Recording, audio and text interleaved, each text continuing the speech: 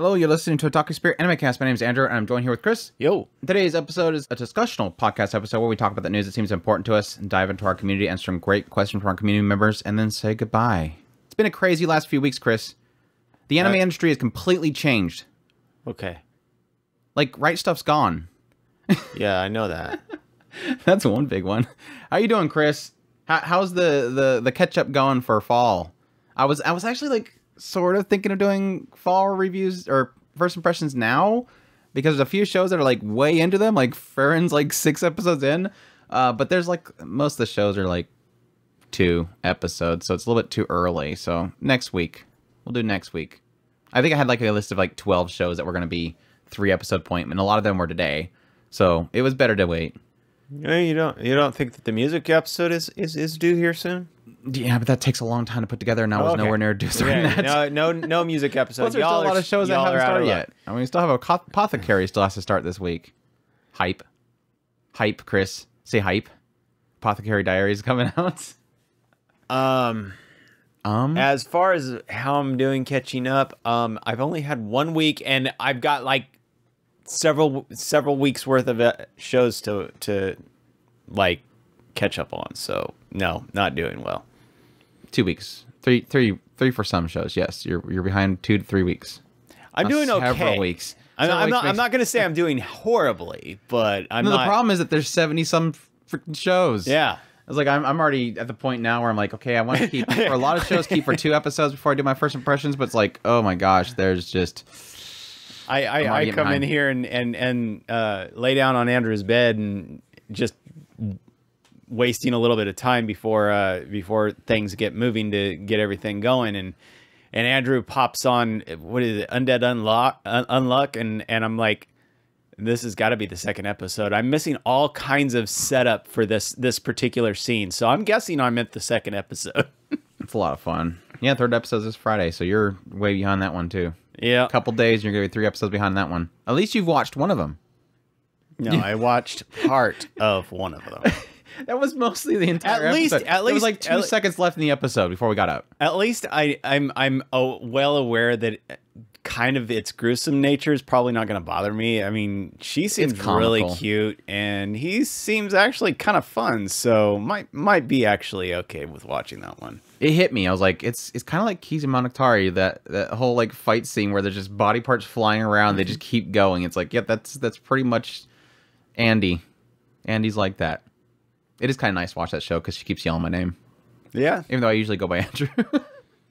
Well, at least they're not bonus? using Chris. I, I there's there's lots of shows that have Chris Chris, is, but uh, Chrisu. not very often. Do, Chrisu. not Chrisu. very often do we get an Andy. That's why they didn't do Andrew. They did Andy instead because Andrew it just it doesn't doesn't work very well. I've tried that. Blue Archive just butchered my name. Anyways, yeah, the news that seems important to us. It should be important to you guys because it's important to us. Oh, before then, yes, Otaku Spirit. That's where we're at. Uh, you can go there, otakuspirit.com. All of our links are there. Social media links, ways to get a hold of us, Discord, and all that good stuff. Uh, on YouTube, youtube.com slash Otaku Spirit. But yeah, let's let's dive into any ways to support us too, like Patreon and stuff like that. So let's dive into it. Are you ready? Ready for some cool news? Let, let's kick off that one a bit. Yes, October 10th. Rip Right Stuf. I'm super sad. Like that that was like a not a happy week for me. Uh, truth be told, it was a very not like I was crying to sleep or anything like that. It's just gosh, it's, it's, it's one of those things where when it happened, it's like it's coming, but it never really kind of dawned on me. And then when the day came, it was like suddenly gut punch. It was like, oh yeah, that's, that's today, isn't it? They had like a timer for like a sale on their website, so they actually had a countdown timer for when it was going to be dead. And it's like, yeah, that, that's really sad that Right Stuf Anime is now officially as a brand gone. Now, I, I still argue with people that yes, technically they're probably shipping out of that that warehouse in Grimes, Iowa is probably still there. The people are still there. I'm assuming that the marketing team's going to get cut. Anything that's pretty much doubled up in Crunchyroll's company is going to be cut. They'll probably get rid of Nozomi Entertainment will probably finish what they're working on, or they'll get cut. It's just probably going to be a warehouse. Like that Right Stuf is probably just going to turn into the people is the warehouse, and everything else is going to be run by Crunchyroll, and that's again, it, it's kind of a sad thing because I mean, like we've mentioned before, like the YouTube channel, like originally was created just for me to unbox Right Stuf sales for the most part. I mean, figures too, but it was like we'd have these Hollywood Hollywood like I had like every Christmas maybe like five videos of like this big massive package comes in and we just unbox it there and you're ripping off the the covers and the cellophane while I'm over here showing it off in the camera. Um, just like it's just kind of that one thing where it's kind of kind of gone and yeah, just the memories of Sean Kleckner and the penguin outfit dancing and them dropping packages from forklifts. It's just like all that stuff just kind of it hurts. It kind of hurts. I mean, it was again inevitability. I knew it was coming ever since the moment they announced the the buyout, but it still sucks. Well, I, I, I can tell you this: I totally didn't set up a shrine in my my my house that of of right Ritsu? stuff stuff. Totally not. It's not like I liked them or nothing. It's not. shrine, of, not- shrine of Ritsu. I like the penguin. I'm still gonna hold by. I like their penguin mascot more. Ritsu's fine though. But no, I'm it, uh, legit. Like I have two Right Stuf holiday uh, or not holiday uh, anniversary T-shirts, and I'm like, I wonder if I should sell these things in ten years. Like some nostalgic anime nerds would be like, "Holy crap, you got a T-shirt of Right Stuf?" yeah. Or like those old little postcards, the little art cards they used to put in all the packages. Remember, one- remember one time I made a bunch of. I took all those little art cards you get out of the packages, and I just put them in like these little small frames and plastered a wall with them. It was kind of funny. Yeah, it's it's sadness though. It's it's true sadness, and they're assumingly. I mean, some people on the Discord have been like doing some cross checking to see if the prices are about the same. It seemed like it was, but I, I argue with a lot of people that I think the sales that we had with Right Stuf, especially at the holiday sales, it was something that was dying away. Like I over the last like three or so years, I was checking the holiday sale, and while I don't buy as much merch as I used to because you know limited income doing the YouTube channel and building it up, it nothing really like grabbed me. Like every holiday sale was like two things that would grab my attention. Now, granted, bought a lot of junk, so I'm already already have like half their warehouse in my, on my walls. It's a joke. Um, so it's not like I have like a lot of things that I'm looking out for, but it's still something that seems like their holiday sales have been cutting back on. And I think it's partly do with the, you know, the pandemic and stuff like that, and price of packaging going up. So the the profit margins are less. That's the sales are going to be less. But it's still it's still something that I kind of noticed over time that it's just. I think the age of Right Stuf crazy sells is kind of dying. Yeah, there was there was probably strategies involved in what he was doing on the on a lot of that stuff. So I yeah, I can see that a they probably didn't quite follow his his mentality on a lot of that stuff. It takes a certain type that can figure out um, the the movement of products. So Yeah, he was definitely Sean Kleckner was definitely pushing this idea, and what I kind of seen with those sales, it's a it's a lot to do with massive massive quantities, low mm-hmm. profits. yeah, So it kind of turns out the same. It's like Amazon. Amazon made it big how it is because it's just moving a ton of stuff with low profitability. And eventually you'll kill out the competition and you're shipping a ton of crap of stuff every single day. That's just like the whole thing of them just kind of tossing things in boxes. They figure it's better to not have good packaging because you'll the the off rare chance that somebody actually does want to send it back, they'll cover that one, but the rest of them they've saved on packaging yeah. um, which is partly one of the things I'm kind of scared of with Crunchyroll. I'm I'm curious if um, here soon if some people buy stuff from Crunchyroll. If it, it's always been it's it's already has been coming out. A lot of the stuff has already been coming out of Right Stuf if you bought it on Crunchyroll store because they were warehouse. That's why I think they bought Right Stuf because they were already warehousing their stuff. Um, but I'd be curious if they keep to the the packaging thing because that was literally the goodwill that Sean Kleckner created was this idea that this you buy from Right Stuf, you're buying a collectible.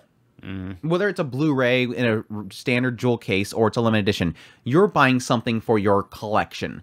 Anime fans are collectors. We're not we're not buying a Blu-ray of something just because we want to watch it once and then sh- shove it inside of a cabinet.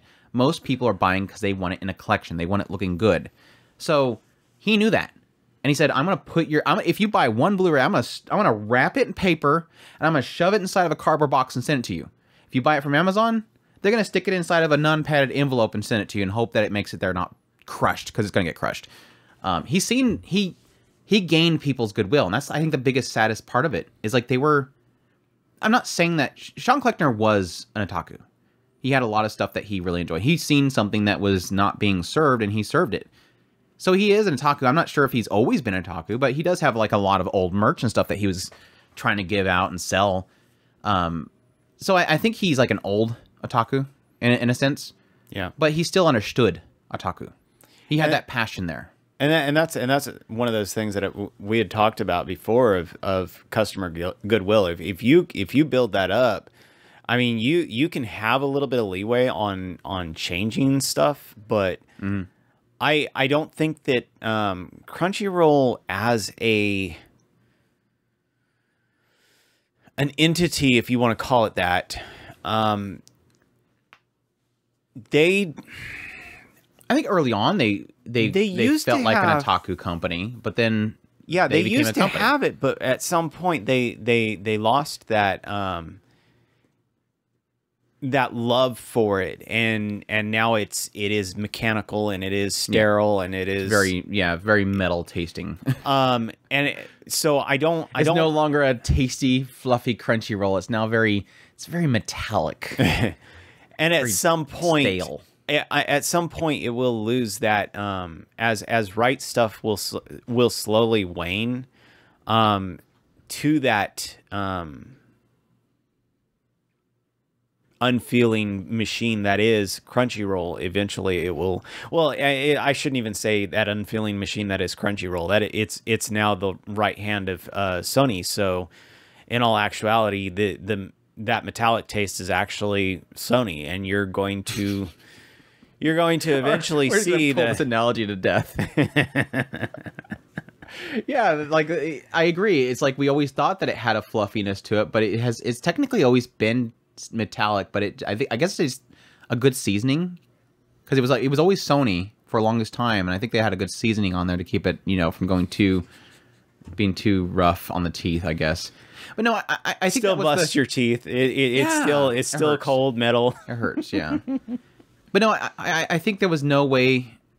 I, I I threw some ideas at some people the other day. No, it wasn't the other day. It was like I think it was right after I made my video about um, the closing, or maybe I made a tweet or something like that. We were talking on Discord, anyways. And I was I was mentioning the idea of like, it's so it's so odd how bad some marketing people can be. And I truly honestly believe, you know, no offense to some people, because I sometimes I do believe it's not necessarily marketing fault. It's that marketing either fails to present it right to the right people or they're not listened to. There's I've I've seen a lot of cases of marketing where they're just ignored. They have a great idea and they're ignored. Or they have these ideas, they pass, but these other ideas which sound really great are not allowed. And I told a lot of people I'm like, you know, obviously no matter what, people are going to be mad about this again, Right Stuf. People loved Right Stuf. They adored Right Stuf. Did they like Crunchy? When's the last time you talked to somebody and they're like, "I love Crunchyroll store. It is such a good store." How many people have you? None. How many people have you heard? I love Right Stuf. Tons, tons and tons and tons. It's very rare that you can find a store, a company, a storefront, a shop where people are like, "I love that store." Like Target, Walmart. you know, think of a store that people actually love going to. Um, I think Amazon for a long time was kind of like that back when they were very much, um, much so customer first. Now lately, it seems like they're not because they're cutting back. But Right Stuf's loved, and I'm like, what? I it, it hit me one day, and I was like, okay. As we're talking, I'm like, you know, if I was their marketing people, when this whole thing happened, because they just announced it like October 10th, Right Stuf is closing. It's all going to Crunchyroll store. Come to Crunchyroll store. It was a very dumb announcement of a transition. And it's like Yeah. it felt it felt bad. Nobody's happy about this. You know how they could have sold people on this? You make a video. You tell the team at Right Stuf, make a video like you guys usually do. These dumb videos where they have a camera and sometimes the audio is very open, it's very tunnel like. They used to do this all the time. I mean, they still they they were they were doing it for the longest time. Um, and have this that have them record a video where they're going through the warehouse and they're like, "This is the this is the this is the Right Stuf warehouse. This is where we keep all of our stuff, like they always do. Look at all these shelves full of stock and all that kind of stuff. We are now Crunchyroll store. Same people, same warehouse, same service. Just the brand name changed. We're still here for you guys. We're still going to give you the great service we always have yeah pretty much put that warehouse in front of the statement you're going to Crunchyroll store. Let people like right now we don't know. I could be wrong. October 10th, they could have shut down the Grimes warehouse. I'm assuming it's still there because that's what they bought. They could have bought them to destroy them. I don't know. Assure people, Right Stuf is still here. Great service you've always had. Yeah, go into the back area. We're still we're, the the salespeople were still here. Marketing people were still here. Show them that. Show them basically that Right Stuf Is became. Crunchyroll. That- not that- that, Crunchyroll shut down Right Stuf. Yeah, swallow Because what it looks like right now, And the way it- that they marketed this, they're shutting down Right Stuf.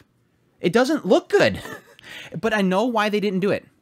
Someone made a good point. I think I made a point. I forget who. Why they didn't do that is because they have a corporate mindset that they're what people want. The Crunchyroll people made the call in making that announcement, and what are they going to say? They're not going to say, "Don't worry, everybody. They, and we know that you love Right Stuf." They don't care. They're saying, "We're the place you're getting your stuff from. We're great. We're not going to admit that we're that you're afraid of coming to us. We want everybody publicly to know we're the new Right Stuf. They're in love with themselves. It's a very corporate mindset. And it's so dumb how easily that could have been done so perfect. It's just like, it's like when I thought about that, I'm like, it just that just frustrates me that they had a chance. They had a chance to really sell this. It's a and and, that, and that's one of those sad things. The the problem with that that corporate machine entity, whatever you want to call it, is that it it balances everything in numbers. Just like we talked about with the Netflix thing, just like all the all those things that we've been talking about over the years when we talk about these big Talk about things. Yeah, we talk about things once in a while. Um, it, it it's it's one of those things that all they do is they balance numbers. Are we going to lose lose people this way or that pe- that way? How are how many? How can we lose the least amount of people? Um, yes, you should be looking at how can we.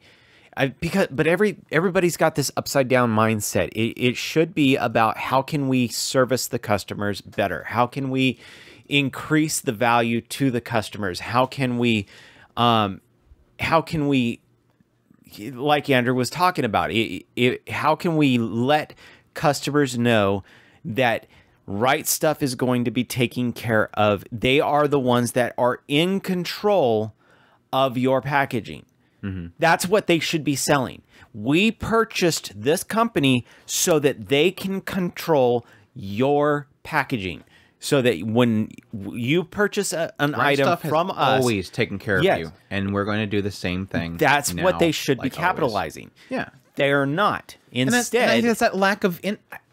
But is it a narcissism to themselves that they're better than Right Stuf, and they want you to know that they're the place, or do you think it is an aspect of them not seeing that that is that not seeing that people are up that are are afraid of this? They obviously see that we're afraid uh, upset at this, but why not realize how easily you could have appeased people with this? That's the thing that doesn't that boggles my mind. It's so easy. Like I came up with it. I mean, again, yes, granted, I used to work with marketing people for several years. I know how marketing people think in a sense. But this is this seems easy. Like this seems so easy that I came up with it. And I haven't I didn't go to college for marketing and I figured out how easy But again, isn't that because Oh, that's right. I'm a fan of this stuff. So I understand how fans think. Whereas their people Oh, that's right, they're not fans. They don't care about anime. They don't, they don't care about who the, they don't care about who they're serving. They're so disconnected, and that's what kind of is a sad thing. yeah. Is to realize how disconnected they are. They can't figure out something this simple. But it could again, I, I admit, it could be that the higher ups don't allow the marketing to do what they need to do and to appease the fans. I fully acknowledge that. Sorry, marketing people. I know sometimes your arms are your hands are tied. It's dumb. It's dumb. It's just, that's just, that's just like uncensored stuff. Um, when they when they get licenses and they end up being censored, it's like there's so many easy ways you can market that stuff and and appease people. Like be clear about what you got. Be clear that you only you could only get one license. Be clear why you're, you know, why this show is showing aired in Japan, but you don't have it on your network yet because they have an exclusivity on a streaming platform in Japan. Be clear. Just say it. Like it, instead, it just turns into a bunch of negativity. It's like it's this could so easily be. And yes, I, I agree. With part of that is because people love hating on Crunchyroll. and I fully admit. I mean, we have a if we ever get to it, uh, we have an article that came up over the last couple weeks where people were just dunking on them because it's just a fun thing to do. People love hating Crunchyroll, and I will sp- I'll be the first to speak up whenever I think it's people being negative for the sake of being negative. Like I, I can give Crunchyroll some pass here and there, but it makes it hard sometimes.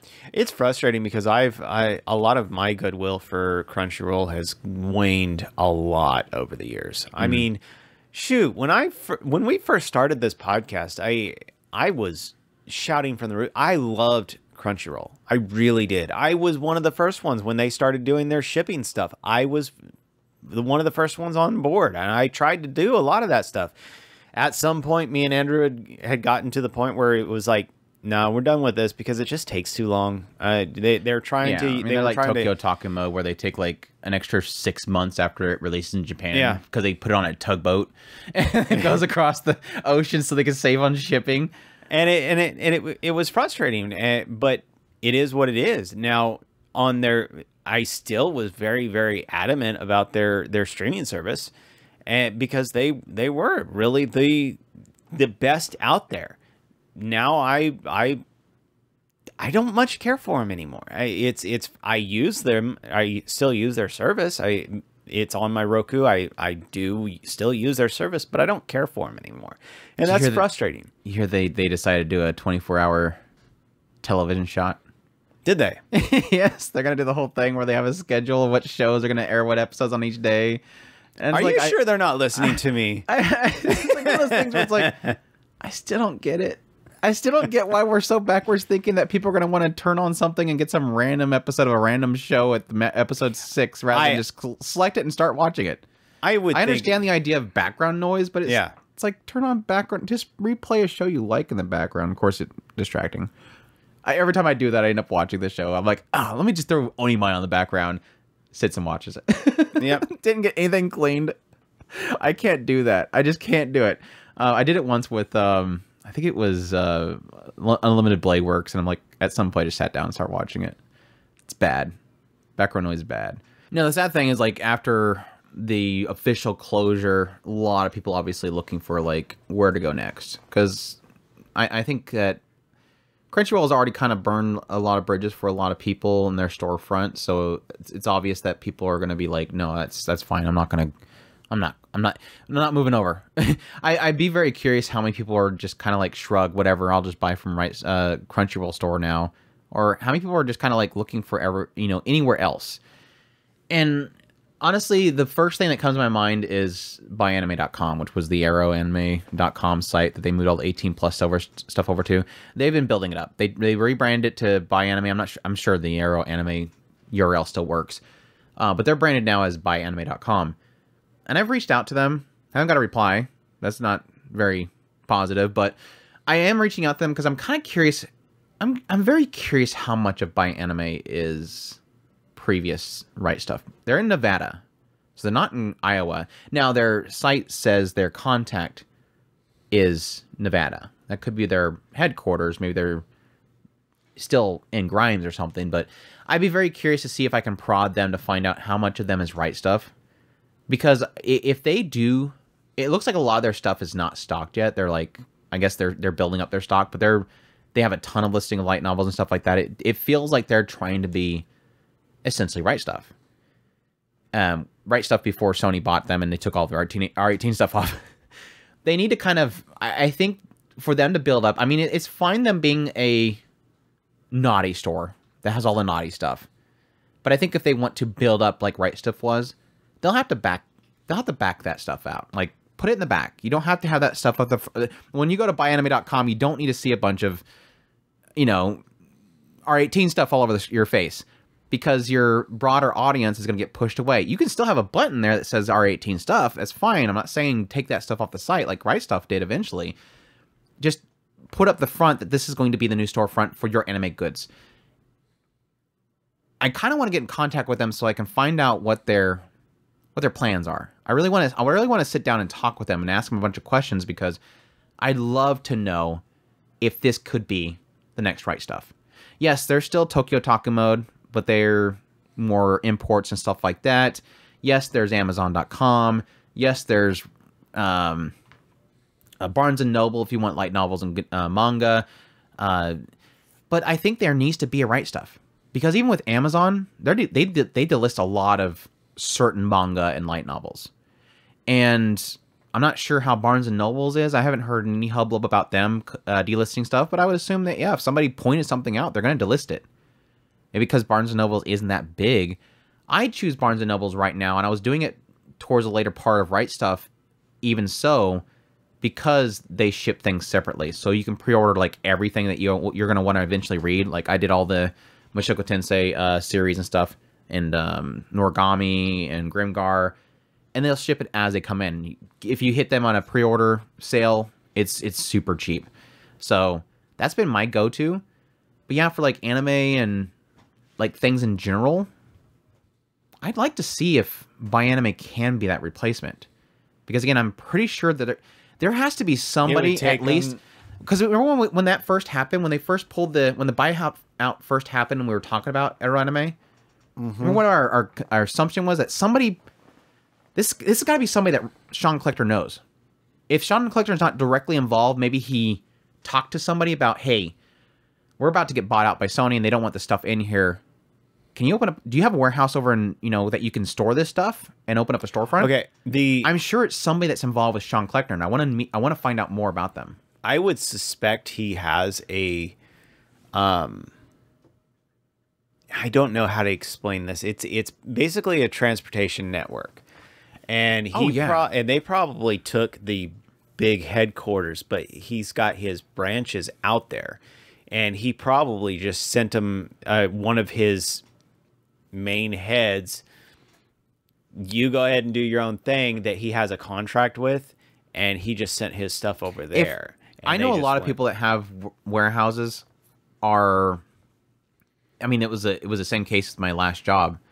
There's certain people in certain areas that how they do make their livings is literally just warehouses. Mm-hmm. And I can see him being somebody that possibly has other warehouses that he owns and makes money off of the right. essentially people being in there. Or yes a network. He's obviously got a network. He's yeah he's doing transportation. He's moving goods left and right. He's obviously knows people. But i'm again i'm, I'm curious how connected that person is to sean kleckner because it couldn't be directly involved because you know for a fact when they bought out Right Stuf, he had to sign a non, uh, non-compete right. especially since he's left non-compete so it's got to be somebody else and again, I'm, I'm very curious of how connected they are. Sean Kleckner's retired. Well, that's he's, why I was. He's, he's retired. He's, and, and he probably is. He could be making money off of warehousing. And that's why I was saying more, probably more along the lines of contracting, or he just was keeping the R18 stuff separate from the Right Stuf stuff catalog, so that when it did actually go through, um, it didn't really go into the non compete stuff because technically it wasn't in the same category.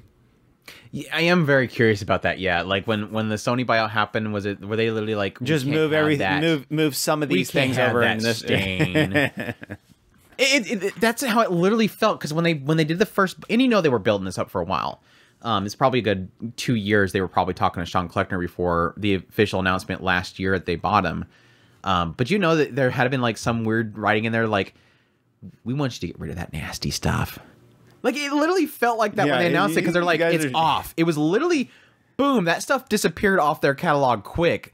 They were ready for that. It's like, is that is that like it's just a stain you can't touch? Like it's it's it's cooties. So like, crude. Like they they didn't even say like we're buying it. You know, we're gonna give you like another because they were doing the they were doing the sale at the same time. It's like it was so like we can't have that we can't have our name on Right Stuf until that stuff's out of there because that'll be controversial for us. We bought a company that had lewd stuff in it. Again, still go back to crunchyroll.com, go to uh, search and search for my student council, my wife is student council president. It's like you guys have such worse stuff on your website that you're streaming right now. And this is what's bad. It's so weird. It is so weird. It is so weird.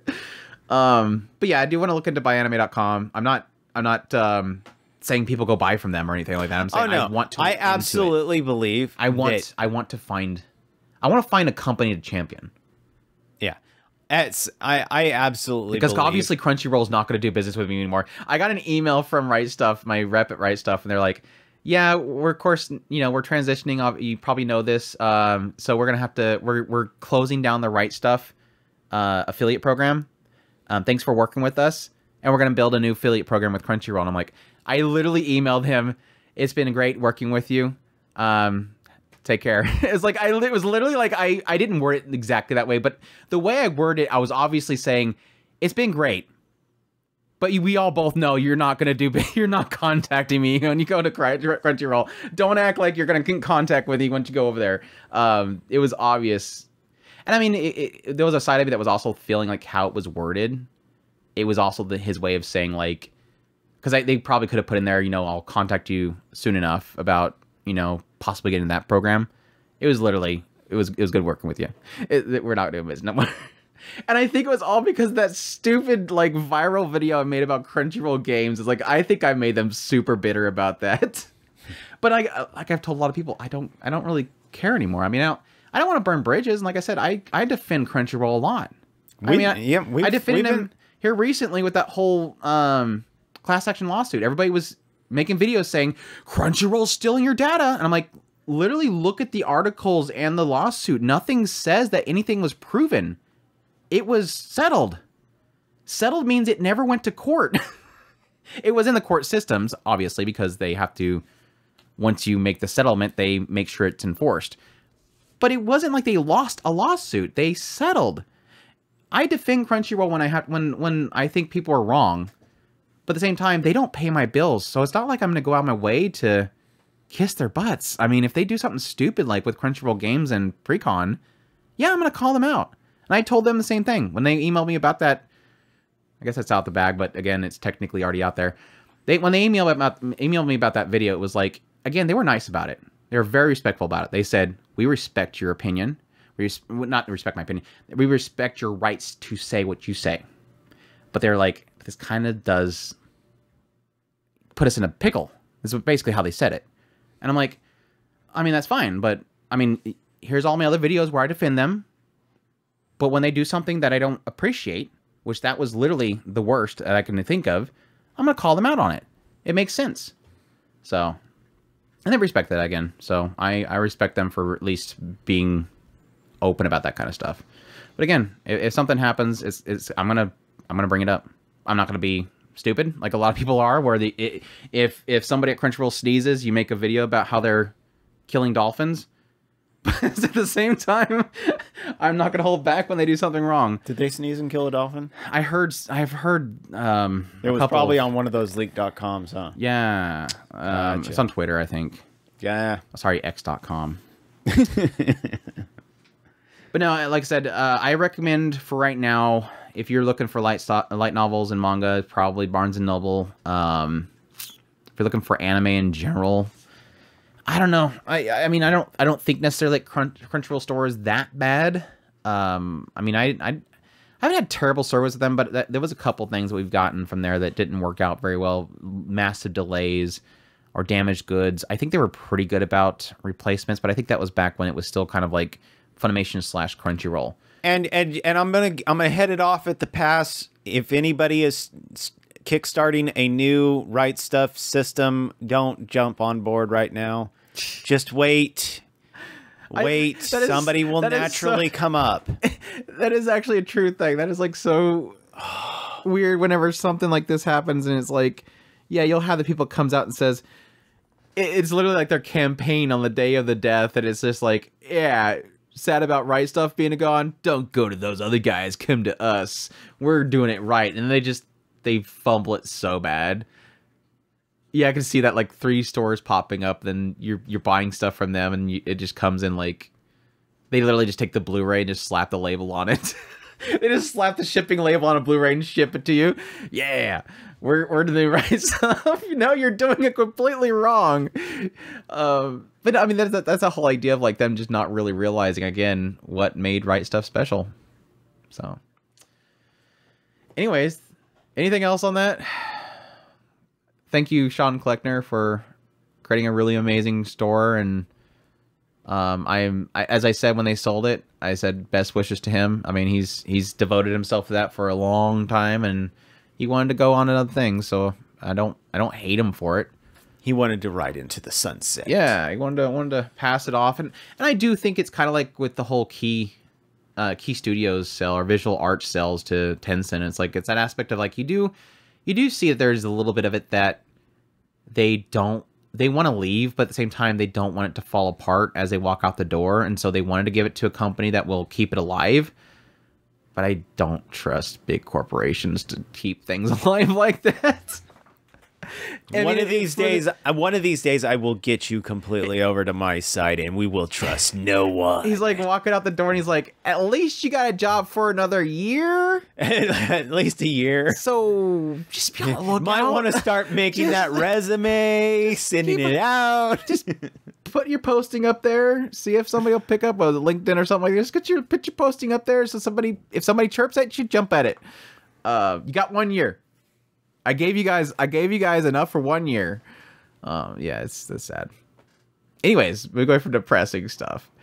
What else do we have for news? I don't know. We're we're like what uh 40 minutes in. I I get I assume that there's going to be a long introduction, but yeah, uh, some other news. A website was opened to announce the TV anime adaptation of Chillin' in Another World with level 2 super cheap powers. Uh, this one is going to premiere in 2024. The magical kingdom of Kirode summons hundreds of heroes from another world every year to fight the war against the dark. That sucks. They just got like a whole like assembly line. Uh, he looks like the slime dude. He had that whole like display system coming up in front of him. Don't Oh, bash, don't Keep bash outs. this show. We got keep outs. This is gonna be it. This is gonna be a super censored show. it's got the Don't- big massive keep out lines. Don't bash this show. It's got a cute uh, wolf girl, Yeah, and they and so obviously and it's she's gonna censored. be it's gonna be the best show ever. I wonder like if this is labeled as an ecchi show and it's gonna have two versions. This is this is totally gonna have two versions. And she's silver hair. It's But- freaking gonna make it awesome. Banaza, Banaza is one of the heroes summoned from the royal capital Pal- uh, Paluma, but something is not right. Banaza, this is a stupid name by the way. I, I'm I'm gonna hate hearing characters say, "Hey, Banaza," is only an average merchant. Uh, he was he has no magic, no fighting ability, and his stats are abysmal. Which that's a very common thing actually. I don't know why they're acting like it's rare. Uh, worse, a mishap leaves him unable to return home, rejected as a hero and stranded in another world, abandoned to the far reaches of the kingdom by a cruel king who just wants him gone. Banaza's fate looks pretty bleak. But what will happen once the failed hero candidate finds himself with a super cheap power once he hits level 2? That's what it is. He literally level 1, he got nothing, and he hits level 2 and he's super cheap. He's cheating. What's it what what do you think his power is going to be to tame? Probably to tame the the the cute uh, silver hair wolf girl. Yeah, that's what I'm thinking. Um, it's oh, I'm guessing his real name is Banaza. Oh, his, yeah, his real name is Banaza. They're gonna call him Flio. Apparently, his name's Flio. Fenris. I like that. Instead of Fenrir, her name it's Rie Kugimiya. I'm gonna love this show. I should have listened to this preview beforehand. No, you can't Rie jump on board. No, you Rie can't. Kugimiya is finally getting like a decently main role for once. You I thought she retired. You can't just randomly jump on board after you start seeing the voice cast. Hey, no. Hey, Chris. Guess what? Just did. Anyways, Kadokawa revealed that private tutor to the Duke's Daughter anime adaptation. Um, I was looking forward to this one. Actually, I have no clue what it is. I'm just saying that. Uh, after fail uh, after failing the exam for the dream job at the royal court, promising young sorcerer Alan wants nothing more than to retreat to a simple life in the countryside. Unfortunately for him, he can't even afford to train the train fare. His only solution is to get a job, but his one lead is anything but modest. Duke Howard, one of the kingdom's most powerful nobles, needs him to needs a private tutor for his daughter Tina. Despite her academic brilliance, Tina is incapable of casting even a single even a single spell. To make matters worse, entrance, exam, entrance exams for the prestigious Royal Academy are fast approaching, and magical aptitude is a mandatory. Can Alan use his unique brand of spellcasting to help Tina overcome her magical impairment? A mystery that's not even a kingdom's finest sorcerers have been able to solve. And does her father, the Duke, even want him to? It's a lot of questions at the end of that. I love synopsis that literally give you 50 question marks at the end of it. Like, you could have just told me. These me. are the things that you're supposed to be You're asking supposed to yourself. be- Why don't you create? Hey, she looks cute. Why don't you create a very interesting synopsis rather than make me have to question things? Like you should be wondering this. If you if you cared at all, you'd want to know what this answer is. Um, which basically tells you that, that those are going to be problems that they're going to run into. So you're saying it anyways. She looks cute though. I like the artwork. I know the anime is probably not going to look anything like the artwork. But yeah, excited for that one. Sure. Sure. She seems kind of cute. There you go. There you go. The synopsis is kind of blah. I, I have to. oh, Chris, are you excited? Dude needs to make money, and excited, so instead of going going the bad route, he decided to go ahead and train a, a cute girl, and the cute girl sucks at everything, and we find out that the the daddy is a bad guy. So He's a I bad mean- guy because he doesn't want her to actually learn how to do spells. Are you excited, Chris? Cheat skills coming back. I don't remember. Did you ever finish that Oh show? yeah, I, I like I like cheat skill. It Did just you- had some bad some bad frames. I mean, what I mean, Some what- bad frames. Just a few hundred thousand bad frames. Just a couple few- frames. thousand, hundred thousand bad frames. Um, yeah. I'm. I've. I've. Andrew Andrew seemed I've didn't like come the fact accept- that these girls didn't had had no brain power. So we have that going. No, that was the funniest thing about the show was that literally I could identify each girl by just there's like not what they do or their name. It's just I literally identify them as is Stupid, the hot, stupider, the hot and model. stupidest? No, the hot model, the assassin girl. Like I, I had no care to learn their names because Okay, there's nothing to Let, them. let, but let me let me let me let me go ahead and impression. open up an old wound. Princess. stupid princess. this is, she's literally right there, Chris. She's on the screen. the stupid princess that'll drag her men out into the middle of a deadly forest. Yeah, where I told you. died I told you. I opened hunk up that old wound. Oh gosh, the show's so bad. and the karate rabbit. Oh yeah, and the princess's brother that I Hey, I the still haven't karate rabbit was out- kind of cool. I still haven't figured out the whole arrow shot in that one room when they were freeing the prince. I still don't know what happened in that room. To this day, I still don't know what happened in that room. I thought that they were trying to kill the prince, but apparently not. Nobody ended up hurt, so I assume the arrow did nothing. I don't know, it's weird. The whole show's weird. But that's right, we have a second season. We get to we get to hang out with the new cute uh, magical loli that was trying to destroy the world from the first season. Yeah, and and her. his and his friend who decided to go through his door, and she should not have gone through his door. He was pretty shrug about that. it's like that's right. The friend came through. Yeah, he didn't really care. They're just like shrug. Hey, stay over there while I go fight this but uh, fight this chick. and she did not bunny. follow orders at all. Yeah, she she came over she there- still wanted to come over there. I gotta come over here because I'm gonna do something. I gotta stand here and get protected, and then swoon over him protecting me from magic. Uh, not only do I get swooned over the fact that he beat up a bunch of bullies next to a store, now I can swoon over the fact that he beat some crazy uh, psycho magical loli in front of me. his his harem is now officially at what five now, or six? Well, do you count the the the, the bros? it, it depends on if we're we're counting did the we, brother. Did we count the bros? Yeah, the brother and the bros at the school. I think everybody loves him, so I don't know. I think the entire kingdom's in, uh, got the hots for him now, so I don't know. But yeah, there, there's your CGI uh, CGI armored soldier guy with 2D sliding stills. Uh, it's coming back for another season. Hopefully, he doesn't stand in front of our door for five minutes holding his hand out like he's gonna go knock on the door and look surprised. Hopefully, the animation goes up. I'm gonna highly, I'm gonna put a massive doubt button on that one. Anyways, moving on. Uh, Anchor has announced that they're going to be launching a crowdfunding campaign in order to do an English release of uh, Nozomu Eien, uh, Kimi ga Nozomu Eien game.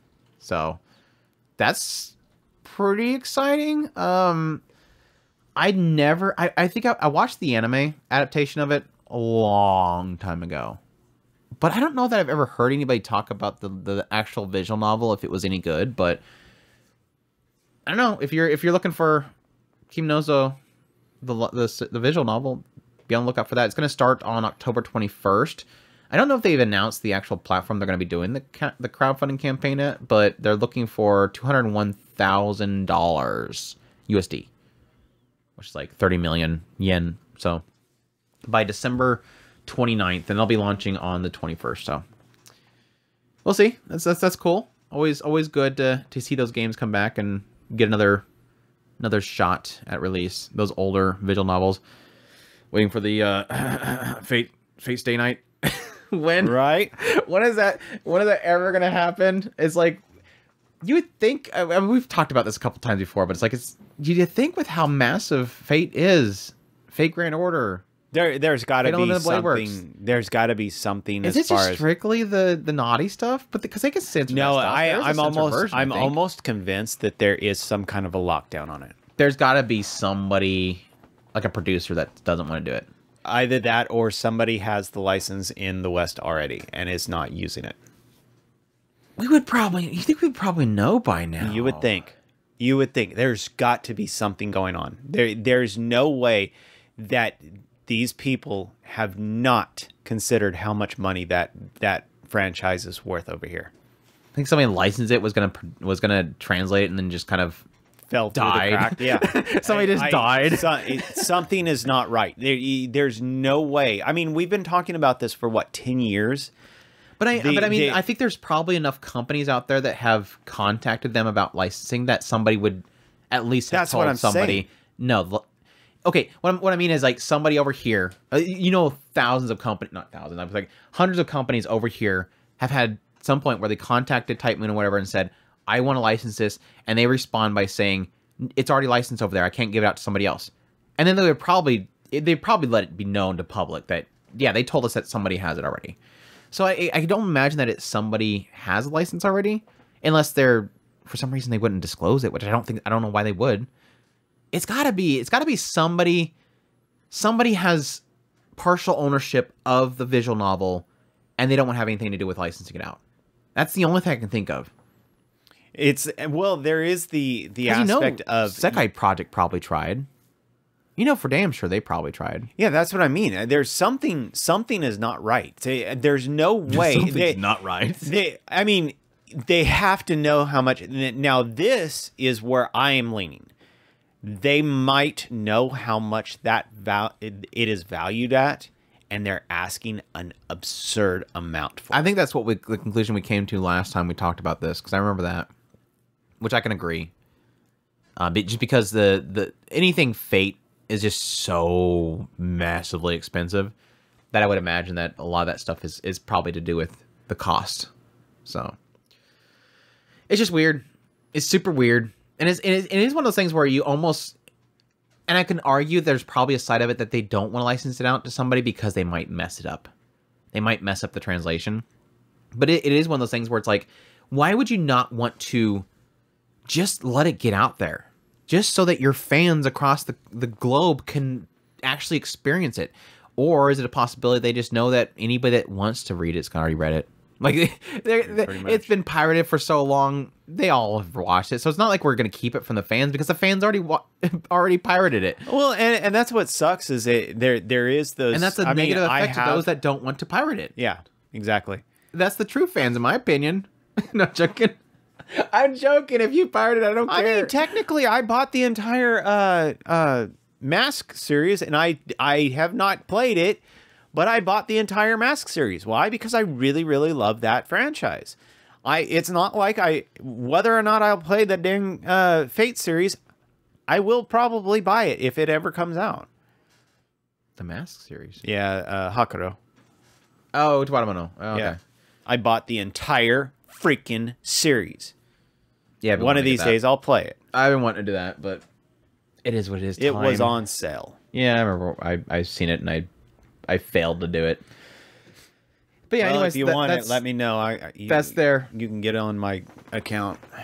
friend sharing. Uh, this is pretty big Family news. Did you hear about the new I would Dragon not Ball? Friend share, huh? Did you hear about the new Dragon Ball coming out? I don't know. You had a Dragon Ball thing on one of your videos. I haven't gotten to look at that one yet.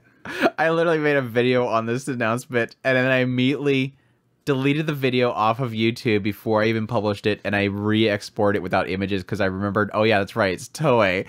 It's like I'm not putting I'm not putting screenshots in my video when it's Toei. That's that's playing with fire. Uh, but yeah, Toei Animation has announced that Dragon Ball will be getting a new series, Dragon Ball Daima. It's a new series by Akira Toriyama. It is not. It's going to be an original series, like a side project that he's going to be very invested with. Apparently, they want you to know. By the way, Akira Toriyama is going to be very involved. Chris, hey Chris, look at look at me. Akira Toriyama is going to be involved with this time because why? They got characters that are all kids again. I know that I know for a fact they were they were very much so clear and adamant. By the way, Akira Toriyama is going to be involved. This is not this is not GT again. Please please watch the show. But no, it uh yeah, Akira Toriyama is going to be very closely involved. He's stated, uh, "Hello, uh, I'm currently working on a new Dragon Ball. The title is Dragon Ball Daima. Daima is a made-up term which, uh, with Japanese characters, you know, or in English, would be something like evil. Due to, to due to a conspiracy, Goku and his friends are turned small. In order to fix things, they'll head off to a new world. It's a grand adventure with intense action and an unknown in an unknown and mysterious world. Since Goku has to make up for his petite size, he will be using Nyoibo again, his power pole, to fight. Uh, something not seen in a long time. I came up with the story and setting, as well as a lot of the designs. I'm actually putting a lot of effort into this as usual, or more effort into this than usual. Uh, things uh, will unfold that will close in on the mysteries of the Dragon Ball world. Hope you will enjoy this uh, different from usual battles and cute uh, that that are that are cute and powerful. So, yeah, I I have to admit, I liked the PV. I was gonna say I don't understand why why why is this bad? Do you know why I like this PV, Chris? Look at this, Chris. Look at this, Chris. Is is is drawn again? they're, they're not using. All, there is CGI in there, uh, like the spaceship and and all that kind of. There's a, a couple points in there that's uh, CGI, but for the most part, it's it's 2D animation. And I'm like, oh my gosh, if they're if they're gonna give me like a 2D animated show again, I I don't care what the story is about. Please give me Dragon Ball with 2D animation again. It's a simple thing sometimes for me, okay? Um, but yeah, I was super super hyped for that. But yeah, I, I think obviously the big concern that a lot of people have, and I kind of talked about in my video, is this idea that yes, um, Dragon Ball GT. For those who don't know, they did Dragon Ball Z, and then when they got the Dragon Ball GT, that was where the studio and the producers decided to go original because they ran out of manga to adapt. So obviously, with GT, GT Story, they had Goku become a kid again, and so obviously, when people see this, they immediately go, "Crap, it's GT again." That's why they're emphasizing that Kira Toriyama is involved. But yes, the opposite. The other issue that a lot of people have here is that they're not continuing the Dragon Ball Super story they're doing this side story. And a lot of people were wanting them to continue adapting the super story. So I, I, I didn't really have a problem with GT. I, I really need to go and finish it. gt Yeah, I, I, i thought it was better than super. I'm sorry i said it. I i'm think sorry they- i said it I think that they ran into an issue of um, At least what they've power adapted so far with Super. I, I still And that's think that exactly my problem, yes. I still think that that's the biggest problem that they have with this this show is that they they run into an issue of power levels. You're talking about literally gods. and that's what And i was kind of arguing is like with with Su- dragon ball super it's literally gods fighting gods what's the point in having piccolo next to them what's the point in bringing anybody else in the picture because they're they're just going to be fighting people that aren't gods. But for the most part, it's about the gods fighting each other, pretty much in a sense. God power people. Um, I completely agree. And that's exa- and that's exactly what I seen GT as is that it was a reset point. And and it and it it there was at least what I had gotten into it, it was some fun, really cool concepts and I really liked that. Um but I never like I said I never really had a problem with what they did with GT. I, I mean, but hey, I'm I mean, there was some slow points. I really like the um the new designs of like the Super Saiyan J4 Goku and stuff like that. I think they were super. They are there, right there. Looks super good. Um, it's kind of like that whole mixture of like ape and and like Super Saiyan. It's super cool looking. Uh, yeah, and that was the other thing is that they I think he kind of wanted to do something with that tail thing. The the Yeah. the whole Come and- bringing it back. Yeah. But I mean, I, I, I definitely agree with you because that's been my issue with definitely with Super is just it's getting too much. Like there's too much power. Um, and I do think that's probably what he's going for with the stories. I think there's two reasons why he's doing Daima. One on one end, I think it's so they can that CGI. CGI is so nasty looking. Um, I think it was fine. I think it was fine in Broly, Super Broly, but yeah, I had I like had zero interest in watching um, superhero. I I'll, I'll watch it eventually. I'm gonna watch it, but anyways, I, I think there is a part of it that they want to do Daima, or he wants to do Daima specifically because it's a, it's a reset essentially. Everybody's gonna be weaker because they're children. He's even got to use his power pole again, which is very much so uh, nostalgic. He's it's it's a for, what 40th anniversary. So it's there's a tie in there with the idea of them going back to the original. Dra- he looks like the original Goku from Dragon Ball. Like we're Yeah. going back to the original. Uh, It is timeline when he was a Dragon. Ball, not Dragon Ball Z. Yeah, Dragon Balls. um, and I think there's also part of this. They're probably trying to introduce a new audience of children into the franchise. You know, bring in the younger audience with this, with Goku and everybody being fun and chibi, and he's mentioning that it's going to be cute. There could be an aspect of them just trying to draw drawing another audience. I mean, there's could be a, other, a lot of af, uh, facets to this, and if it's him that's writing and everything, he can do whatever he wants to do with the project. I mean, he could be being pulled into it by you know Toei and stuff to to force him to do something like this to bring in a younger audience, and he doesn't want to do it, but he's going to say that he wants to do it anyways. But um, yeah, 40th anniversary. I, I'm fine with it. Again, I, I think it looks great. Um, again, mainly because it's 2D again. The characters look fantastic. It's got a lot of good art to it, so I'll be I'll be looking forward to it. fall of next year. Year away. There you go. We'll be watching another Dragon Ball TV series again. It's been like forever. It's it's been since yeah, Super pretty much came to a, a stop at some point. I never again they did the movie with superhero and I never watched it, so I'll have to watch that before this comes out. Not that I'm I'm gonna probably need to. But yeah, cool stuff, cool stuff. Looking looking forward to it. What else do we got? Um, let's see. It's blah, blah, blah, blah official website for I'll Become the Villainess that will go down in history has announced that it's going to be a 2024 premiere. I don't know if we've actually talked about this one at all. Story follows a girl named Alicia who hates goody two shoes heroines. Yeah, that's right. Her wish is to come the tr- comes true when she gets reincarnated as a villainess in her favorite otome games. Uh, she strike in games reincarnated into a uh, into a into a villainess in her favorite otome games. I wonder if it's a series or if it's like different games because the PV the, the key art looks like there's different characters. So I wonder if she's gonna jump around different games. Uh, she strives to become the world's most evil villainess in history. However, the more she tries to be a villainess, the more the prince appears to like her. No, that's gonna be a, single one. I remember we talked about that. That'd be funny. Did you hear about the Yuzuki family thing? Did you watch Yuzuki family yet? No. Oh, I I I I want to say either you told me or Yeah, I I talked about it last week. That was bad. it was bad. But yes, for those that don't know, Yuzuki uh, family, uh, Yuzuki, the Yuzuki family's four sons. I don't know why that, that name fl- slips me out so mad. Uh, their first episode came out, and the, the subtitles were bad. Like they were super bad. Um, I made a video on it, posted a lot of screenshots of it. It's basically like a lot of it's very rough translations, very very rough translation. And the bigger problem that came from it was that a lot of the a lot of the terms for self or others was just like all mixed up. So like the easy example is that one of the sons goes out into the street, runs to the neighbor, and he's grouchy looking. And she immediately turns to him and says something like to the effect of, "Are you okay?" or something like that. I'm really, gr- um, I, I look really angry in the morning, and it's like, no, she's supposed to be saying you're looking very angry in the morning. It's like every time it was like somebody referencing somebody else, it was always getting mixed up. It was a really bad translation. Uh, it was it was watchable, but it was it was tough. It was really tough.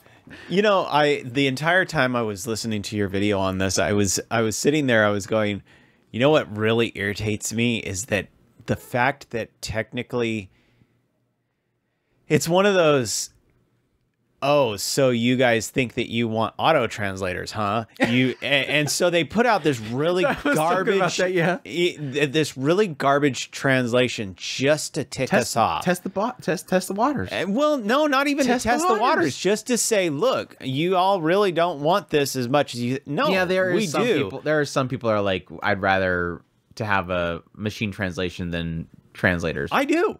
I honestly do. I I, I, I, think, that, think if anything, they used a really bad. I think that they did. I almost think they did it on purpose. I it it this is there's no way that you did not look at that daggum. There's no way it did not get approved without somebody looking at it and going, "Oh well." I, I don't think they really care. You're you're. I think you're giving. I think you're giving Crunchyroll too much credit that they actually check a lot of this stuff before they post it up. I know that that is just flat out stupid. I I'm think whoever, sorry. I think whoever did whoever's the editor or the translator needs to be fired for sure if they even have an editor. Um, but yeah, I mean, there's there's a side of me that kind of wonders if it's an aspect of them testing the waters, testing the beds. There's another side of me that's like, yeah, I, I wonder if there's a little bit of a snarkiness in, yeah, like you said, this is what you asked for. You guys, this is what you guys want. This is what you want. You want you want some machine to do it. Look what the machine did. Look what look at it. Uh, but that would require them to actually have somebody to come out and say say it because they have to point it out. Like you, you wanted this. it requires it requires and you know what? requires- I bet you they're dying to say it. They're dying to say it. There's, they're just in there chomping at their desk. There's a hole in the side of their desk. You're chomping at the bit. Um, just what you wanted. Uh, is the guy that's standing outside the party looking at the window going, I got you guys. Wait till they wait till they find out that I put two extra scoops of sugar in that punch. they're so ruined. They're they're gonna be jumping off the walls here soon. Snicker, snicker, snicker. And then the light turns off. snicker, snicker, snicker. Snicker, snicker, snicker. Cuck, cuck, cuck, cuck, cuck. Uh, anyways, uh, the the odd thing, the reason why I have this in here is one to laugh at that because I think it was a butchered job. Uh, they have re- apparently replaced it. I haven't gone back to check it. Um, it broke my heart because I've been looking forward to the show a lot. This is one of my, I think it was the one that was saying that I was like the one of my most anticipated, but I wasn't like super excited for it just because it's got the whole brother thing, you know, because it's got brothers. But anyways, um, interesting is as I'm looking back into this, apparently Crunchyroll has, has said something about this. Oh yeah. Crunchyroll told ANN on Friday that it is, quote, working with the licensor of the series, the Yuzuki family's four sons, for an updated subtitles. And we hope to have that version on our platform soon. That doesn't make any sense. It's working with the licensor. Like, working with the company that owns the property in Japan or the one that licensed it over here. Licensor tells me the person that licensed it. Right. And that's not the person that owns it. The person that owns it is the owner. The person that licensed it is somebody that is paying for a license to use it. I think you're getting it backwards. A licensor, the one that gives a license. Yes. So that that assumes that what they're doing there is the owner of it in Japan, which what I'm not sure that would be. Let me see. Um, if it's Aniplex, I'm gonna laugh. Please don't be Aniplex. Please don't be Aniplex. Please don't be Aniplex. I'm clicking on it. We're looking at it. Please don't be Aniplex. Don't be Aniplex. Don't don't be Aniplex. Um, it's a lot of people. Um, Piro, uh, ATX is probably to be the bigger one. BS11, Shogakukan, probably a bigger one too. Avex Pictures. So one of those people, probably the the higher ownership of it, probably yeah. Then that point would be, why would they be? I guess there's going to be cases where they translate it, but most cases what they do is they get a They get a The they get a rough script. yeah they get a script and, then, they, they give it to a translator over here that translates it, and then they slap the timestamps onto there, or the they time it to the the subtitles. yeah there there's no way I don't see how this slipped through. I I, I just don't. That's why I mean I I'm I I know that I'm being snarky in the fact of uh, assigning malevolence to a to this, but there is that aspect of how there's nothing in my brain allows i mean i get i get what you were saying the the accidental okay somebody running running behind on time they needed to get it done slapped it through the ai uh, translator throw it up there And I think there's I- a lot of translators that probably do use AI just for a rough translation. They then they fix it up after that because they probably have to turn this stuff out so fast. I Yeah. mean, I, there's a sad reality that there's a lot of these shows that probably they get the they get the script from Japan they get the like the same day. they get the va- I, I don't doubt that there's translators that's why i said that tra- uh, machine translation can do this crap Mm-hmm.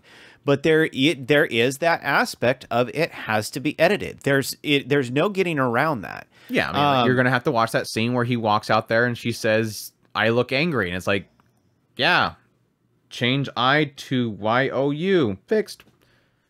And then when they when he says something about them having C, your your class C has C or something like that today, which like I think that's supposed to be PE. Uh, yeah, you And it- spot that kind Well, of stuff. and, and going back to the reason why I said that, um, yeah, I believe in in in doing this with m- machine translation. I know that it's almost there. It's it's pretty much right there on the cusp. The reason why the I say one. that, the reason why I say that that we need to go over to this is to take that freaking burden off of Crunchyroll, so that we're not sitting here complaining about Crunchyroll put this up inside there. A machine cannot have a political bend.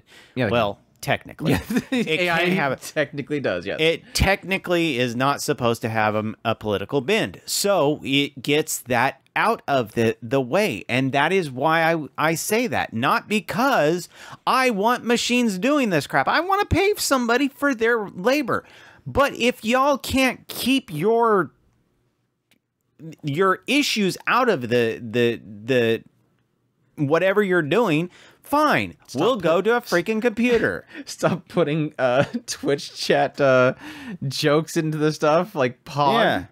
or no cap. no cap seriously i'm so sick No, this- this is one of the funnier crap ones. y'all put in these things This is one of the funnier ones when he's talking about his parents being dead and that his fr- his his his brothers and them been living alone. It says, "But there's nothing we can do. After all, there is no resurrection."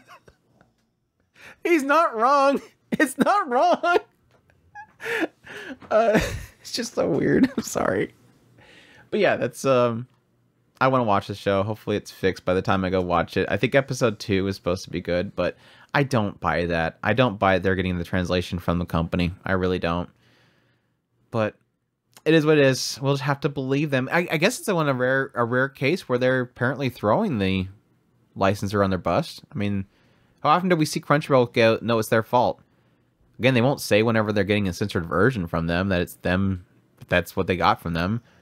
They, No, they, did that- want they, did want that with they, ReZero. they, They, did that with ReZero. They claimed that was the masters they got from ReZero. they Funimation seriously want us to believe that they they are helpless that's what they want us to believe not our fault. Wait, Pete, that's what I'm saying. It's like there was a part of me that was wondering if they were doing this as a test bed because it was Yuzuki Family. Because you know that that that you, barely anybody's gonna watch Yuzuki Family. I'm gonna watch it. I'm gonna probably love it. Um, but there was a side of me that was kind of like thinking that they just they probably didn't check it because they figured nobody's watching this stupid show anyway. So suddenly out of nowhere, everybody's talking about this, and it's like, oh crap, hey, who's who's in charge of this Yuzuki show? Uh, I think that's it's Billy down the street I think that's Fred. Where's Fred? I don't know. I think he said he's off for the day. And they're just like freaking out because they're like, I didn't even know that we had this show. I thought High Dive had this show. Like, what is the Yuzuki family? Does High Dive have this season? What is an Onimai? What's an only They still have Dark Gathering, which is literally the best show this this season right now. Like literally October right now, super spooky show. It's amazing. Please go watch it. I love Dark Gathering. Ah, anyways, that's that's that. What else do I have? Sony Pictures Entertainment and Crunchyroll reached an settlement of the class action lawsuit. I kind of talked about this a little bit earlier, and I made a whole video on it. But yeah, essentially, if you're hearing a lot of people talk about how Crunchyroll has lost a lawsuit, um, they didn't. Essentially, what happened was that there was a lawsuit that was brought up against them, claiming that the initial one was that there was this lady that was on Facebook, signing in at Facebook.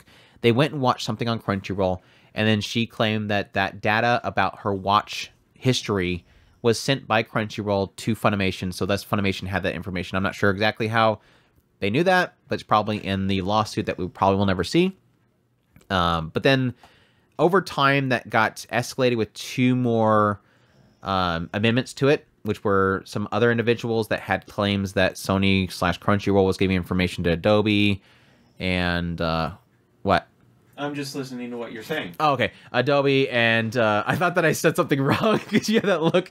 Um, Sony uh, it was Adobe and something. Oh, Google that they were giving information to Adobe and um, Google about you know information that people have like your name and what you're watching. So this Google is, has all of your information already. Just get over it. I know, right? So there's all these claims that essentially that Crunchyroll slash Sony is giving out information uh, of you of users and watch lists and all that kind of stuff. That's what the lawsuit was. Now here's the thing that people need to keep in mind. They had this class action lawsuit. They claimed they were going. They basically probably put together a whole list of how many users that Crunchyroll has, and they came to them saying we want to sue you for this much. And Crunchyroll basically came to a settlement with them. Before it goes to court, they made an agreement with them outside of court, which happens a lot, by the way. It's a very common thing for essentially two parties to come together, the plaintiff and the defendant, and to say, this is what we're coming after. And the other side says, yeah, I don't think that's going to hold up in court, but at the same time, it's going to cost a boatload of money for me to tell you that you're wrong in court. So rather than pay buco's amount of money and lawyers for several years to fight this, we're just going to pay you this much money here. It happens a lot. It, unfortunately for a lot of people, is not an admittance of guilt. It's a settlement. We're agreeing to compensate somehow to make this go away. Even having so far as Crunchyroll afterwards deny the claim and said they settled to, quote, avoid the uncertainties and expenses associated with continuing the case. Now, When would I did- be when shocked? did- When did, settling? would I be When yeah. did settling become some kind of a a minute to guilt? amends to guilt? I don't. I Yeah, don't. that's what I don't understand. understand. That, and that's where my this is where my frustration comes from. Again, I don't care about Crunchyroll. I have no I have no horse in the game. If Crunchyroll Sony does this, F them. I don't care. Like I I don't care. And uh, would it shock me? No. All these companies are doing this. All these companies are selling your information. No matter who you think you're working with, what online service, what marketplace, what store, everybody is holding and selling your information on a regular basis. Marketing people love to use your information. They love it. They love There's padding actually- their they love padding their uh, achievements every year by selling your information.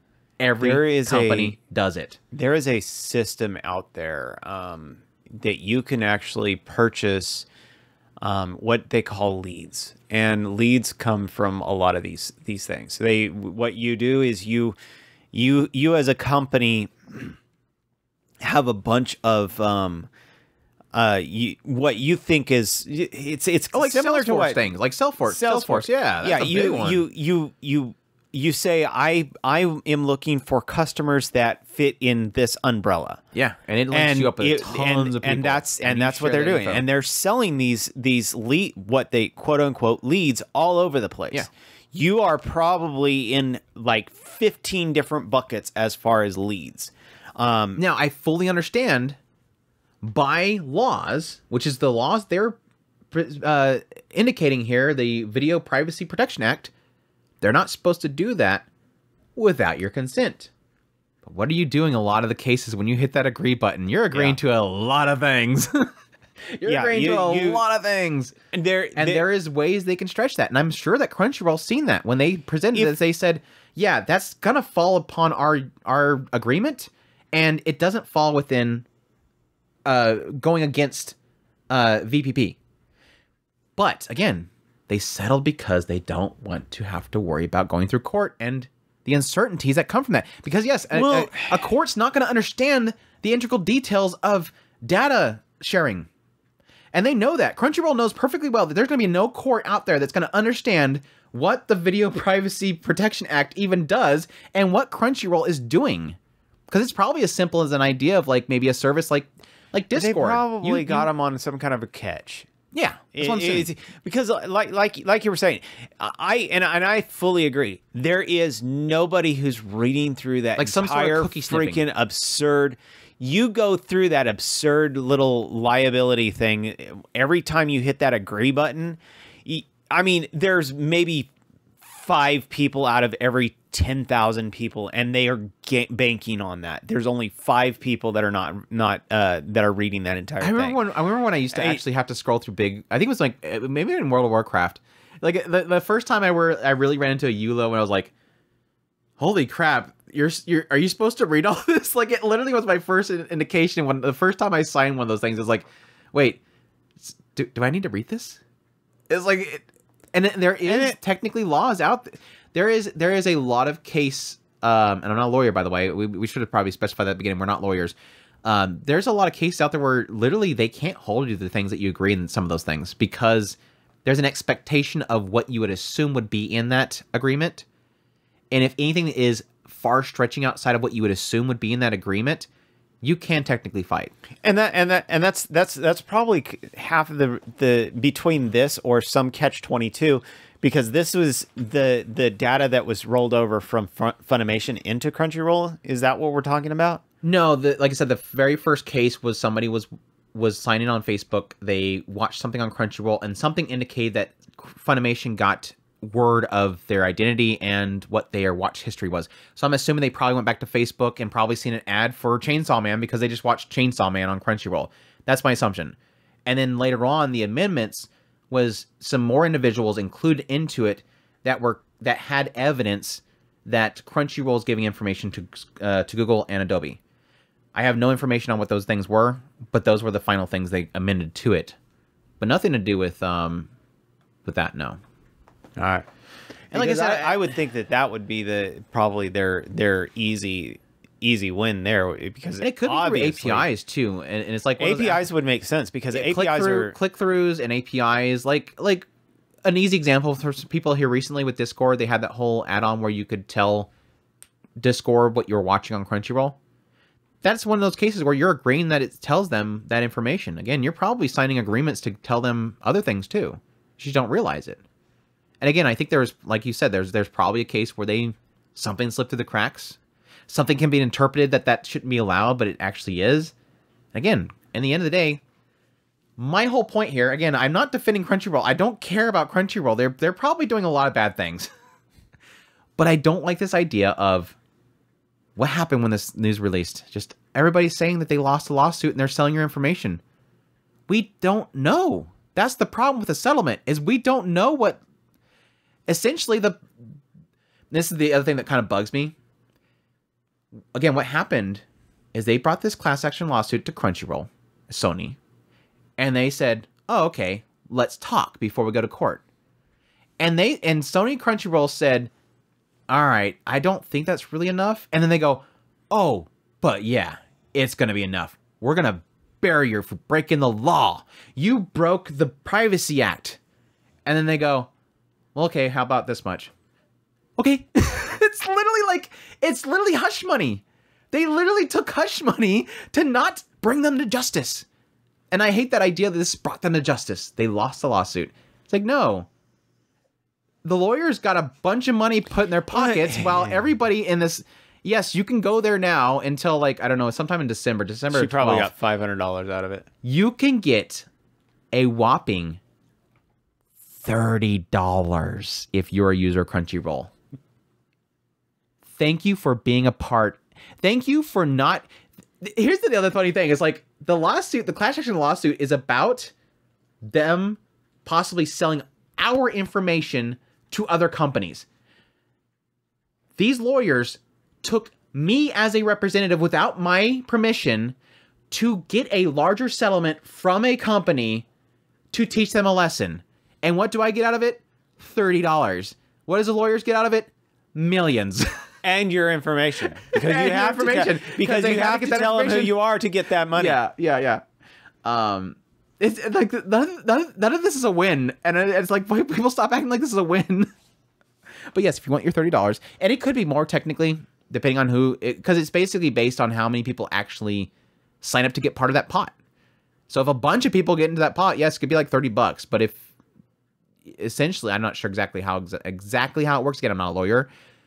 Less people signing up to get their settlement could mean more money. So who knows? Maybe you can get a thousand dollars. Doubt it. I want one million dollars. million dollars. It's just dumb all around. I'm done talking about it. I'm done talking about it. It's just funny how people kind of blew that up in a ways that it. It's like, I'm again. I'm not a lawyer, and but I know a, I know a bit about the court system because I got at some point I got really sucked into watching um, court analysis. and it's like it's so it's so interesting to see how it actually works. I mean, the Vic Mignogna situation, I I poured through that stuff, and it was so fascinating how that stuff works. It's super, it's super weird, and in a lot of cases, in a lot of ca- in a lot of court cases that I've watched, it's kind of scary in a sense too. It's really scary when you look into how the court system works, especially how jury system works. So, anyways, I'm not a lawyer. I'm not. A, I'm not an attorney spokesperson. I I was gonna say on the on the settlement thing, it it that's uh that's also both ways. So uh, it's not an admission of guilt, and it's not an uh, a Mission of defense. Yeah, yeah, it's not a yeah exactly not It's guilty or or uh, innocent. it's uh, it's neither. Yeah, yeah, yeah, yeah. It's a settlement. you came to a settling of the situation, and and guess what? Judges love that. They actually very much so recommend the parties before they even start. Please find a settlement. Just come to an agreement. Don't waste our time. They the judge loves that. they actually push that stuff sometimes. Well, and that- they that- want that- you to come to an agreement. Well, that, that that's an interesting way of put, putting it. Come to a settlement is is literally don't make me Right. choose a side. That's that's That's system. literally what it is. so yeah, again, a prosecutor, defender, they come to the court. They say, "Court, I want to get this guy on this thing." Okay, okay, sign this papers. All right. Do you really want to do this? Because what's going to happen is you're going to come in here, and I'm going to decide, or a jury's going to decide who's right and who's wrong, or you can decide upon yourself how you want to resolve it. You can either have me force you to resolve it, or you can come to the agreement yourself. It's really what it is. It's like a yeah, an am- am- am- amicable agreement. Anyways, boring lawyer stuff. Moving on. A Twitter account for Comic Earth star announced the em- unemployed hero does not need something like skills is getting an anime adaptation. Uh, yeah, this one classes are quote unquote classes are given to at the age of ten, and the pr- uh, presence or absence of skills greatly affects life. Errol, the son of Sword Princess Farah and Magic King Leon, has been branded as classless. But even without jobs and skill or skills, Errol believes he can persevere through effort. I bet he's gonna have a cheat skill. It's, it's like he has no skills. We'll have a cheat skill. Look, he's see, even he's got zappy zappies around him. He's gonna have a skill. Why act like he doesn't have a skill and then give him a skill? The lack thereof skills is means skill. I don't know. He's gonna have rock throw. You think it's one of those things where like because he doesn't have a skill, his stats are boosted? No, he's gonna have rock throw That could be. because classless has rock throw. They always have rock throw. We had that with the the my sister's OP. Uh, sister's two hit combo strikes attack thing. He It was Chris. classless and he had rock throw. This is excited. I actually like this one. I don't like the main character's voice though. He's kind of annoying, but still. A website was announced, uh, open to announce a TV anime adaptation of the manga. My stu- uh, studio apartment, good lighting, angel included. Taro uh, Tokumitsu is a high schooler living all alone when he encounters a pure and kind girl named Toa on his balcony. But who is she really? Uh, Matsuba, author of as a Miss Beelze- oh, it's the author of uh, Miss Beelzebub's Likes. Interesting. Brings you a romantic, an innocent romantic comedy. So, yeah, studio apartment that comes It's- free with an angel. It's a new it's a new waifu for Andrew to hate. I hate I, I hate waifus. Yeah, you hate the new the the perfect waifu characters. I don't remember that. The the galaxy next door, um, the uh, uh, my that's my literally neighbor, it. My, my neighbor, my neighbor pampers me or something like that. That's literally the same show. It's literally the same show. You you just took the first part of the show, which is the Angel Next Door, and then you took the other part of the show, which is Spoils Me Rotten, and put it in a different show. It's the same show, Chris. Which, by the way, is getting a second season. we got another, we got a new a, a new one, studio Apartment. It's the it's the same show. but she's an angel. She's an angel. But no, see, that show, she's not actually an angel. She's just a boring girl. this show, she's legit a cute angel. I don't know that he spoils a rotten. She's just there with her cute wings. I don't know the, the hair. Her hairstyle's not like the greatest, but he looks stupid. His design. I'm sorry. His design looks stupid. Look at he looks like a kappa. He looks like a kappa. he looks like a kappa. Maybe his story is that he's a kappa. Now, I will admit, I wasn't the biggest fan of Miss Beelzebub Likes. I actually didn't finish that show. I got like through two episodes and I got bored because that was the one where like if I remember correctly, it was on the one at the very end of the. Basically, Beelzebub she was like super lazy and she just wanted to sleep, and like half the show is literally her going fluff fluff in like this fluffy world wanting to sleep. And it was like okay, this is boring, and I stopped watching it. And like the yeah, they had like the Fenrir guy and stuff like that or something like that, or and he was like some crazy dude. It Seems was, like a, it was a boring show. It was a very boring. So you didn't like it. that's going to be difficulty is this is hopefully the writing's got better or to my liking i'm sorry it's a better way of putting it but yes jokes i don't know if chris seen this but yes angel next door spoils me rotten is getting a second season um they have There announced that so i know how much chris loved that show and he'll be can't wait to watch second season oh that's right you didn't finish it huh nope. Apparently andrew hates these shows but chris didn't even watch it No, Moving I on. I it was in a very bad timing th- That- that- thing. The writing we'll go that with show it. was so weird. It was nothing to do with her. The writing's just the character writing was weird. The the this writer or the anime, maybe the script writer sucks, but because I know I I heard from very trusted sources that the light novel is just as weird with its writing. This person I think just does not know how to write people talking to each other. Anyways, what else do we have? Um. Now, Crunchyroll added Discotek Media titles to its catalog: Angel Cop, Black Rock Shooter, Cyber City, Oida, um, Oedo, uh, 808, Gunbuster, The King of Braves, Gao, Gai Gar, and King of Braves, Gai, Gao Gai Gar, Final, and Mononoke. But that last one's pretty good. I've been seeing all kinds of crap showing up on my Roku, th- so I'm I just assumed it was the Funimation stuff moving over. So, Chris, What's that? theory time. Okay, uh, I want, you can have I want all the theories yes you no. want. I want a yes or no from you. You- Why, why am I involved in your damn theory? within six months. Uh, that's that's a little bit too loose. Within, yeah, we'll go, we'll go six months. I think I feel comfortable with that. Within six months, Crunchyroll buys Discotek. I think this is a sign they're buying them. I, I think that I lit- Crunchyroll is literally playing nice with nobody right now, but suddenly they get Discotek titles. They've kicked. They've literally lost pretty much Sentai Filmworks. I don't think it really any other brands. There's there's probably a couple other brands on there. I think they're buying them. I think they're in the process right now buying them. I think they just want I just they just want their titles to throw on there, and they're gonna just kick them out, buy up the licenses, shut them down. I don't know. That's possible. It seems like if I- if I'm going based on their past, it's they they usually act like they're being really mean to them, and then suddenly all of a sudden it's a random. Oh hey, we we bought we we've got this this deal going through. It's like wait wait, yeah, I thought y'all hated each other. So, but I don't know. So like like like smacks Discotek around, and then eventually they go, "Come on home," and they go, "Yes, daddy." it's like some kind of abusive father. Crunchyroll's like an abusive father. Poor Discotek just wants to play ball with his friends, and dad just keeps yelling at him, and so he listens to what he says, and then eventually, but he bakes, I think he bakes him a cake I for his birthday, and he cries.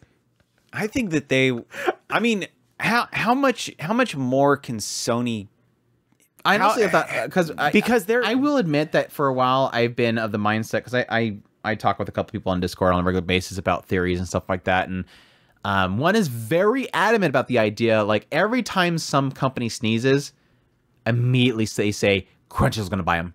That's like with with High Dive. He this person is convinced that they're going to buy High Dive, and I'm like, but they don't need to.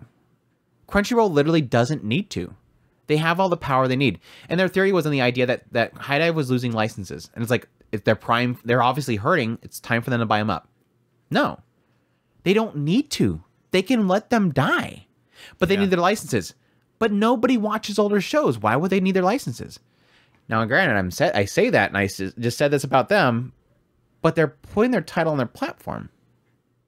Probably because they're cheap enough. Eh, that much? Sure. Get out, get out of here. Give me give me your licenses. Yeah, they have all the power. That's that's that's why I, at this at this point, um, Crunchyroll is all they have to do is just start, and that's why I was asking the question: Do you how far how much more can Sony handle? It is massive. Don't get me wrong, but they're they're swallowing up some very unstable things at the moment. there, there is a lot of fear with how big they're getting. Um, and I do, and I, usually why I push back on the idea of them buying up any other companies right now is just mainly the idea that because of they're a massive debt company. Yeah.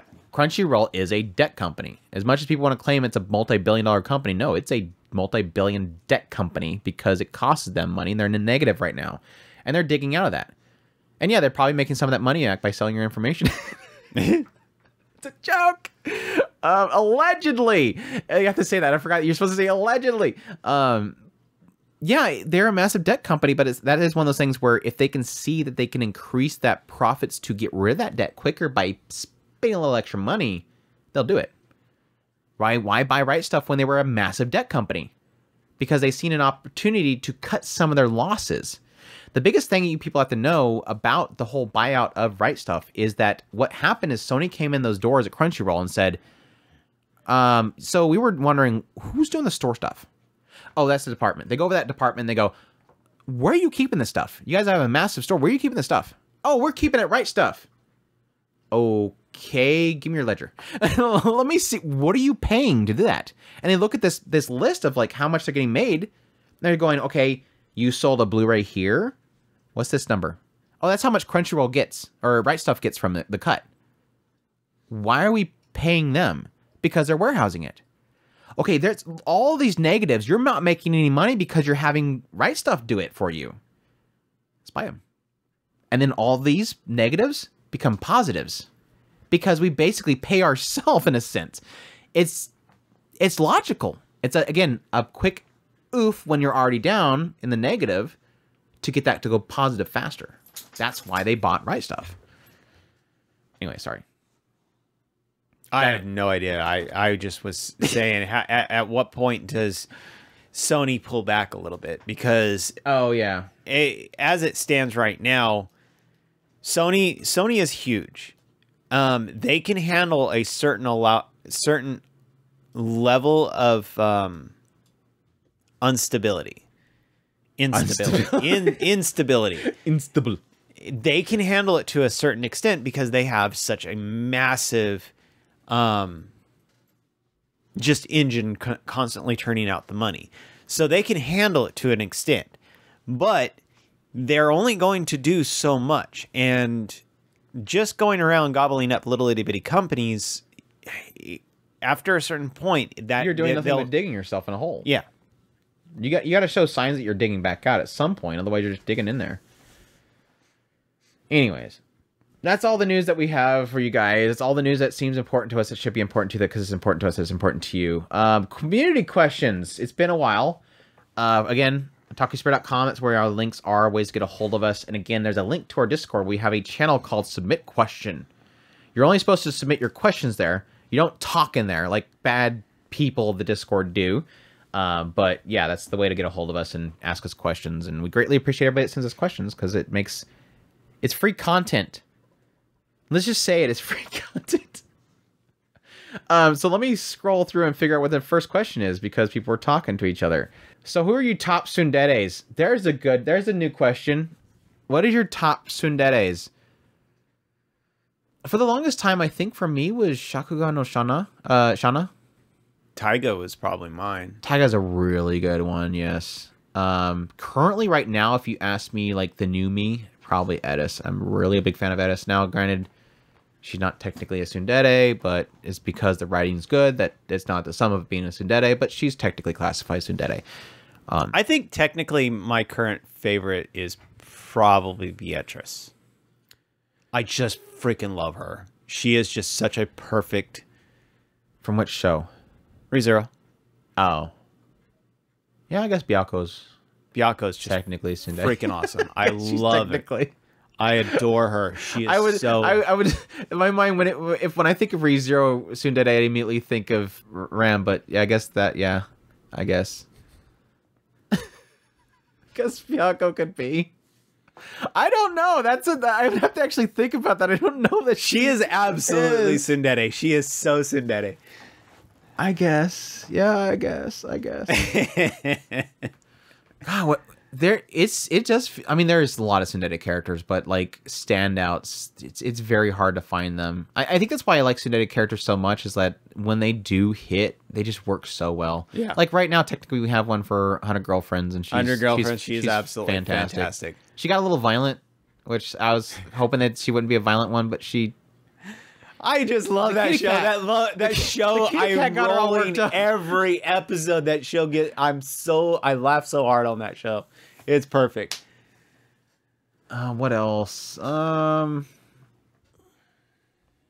yeah, I, I guess it's the big ones. Taiga, Shana, pretty much anything Rika, uh, is going to be fantastic. Um, so I don't know. Uh, Asuka Langley Soryu, obvi- obviously, I I didn't really care much for her back when I watched it. I was kind of into Rei a little bit, but then I I grew up, and then I realized that Rei's a little bit nothing. she's kind of a she's kind of a blah character, uh, and I started falling in love with Asuka over time. Like it's so funny how my taste in that show of the characters kind of shifted because I know I hated Shinji at first. Um, I really loved Rei.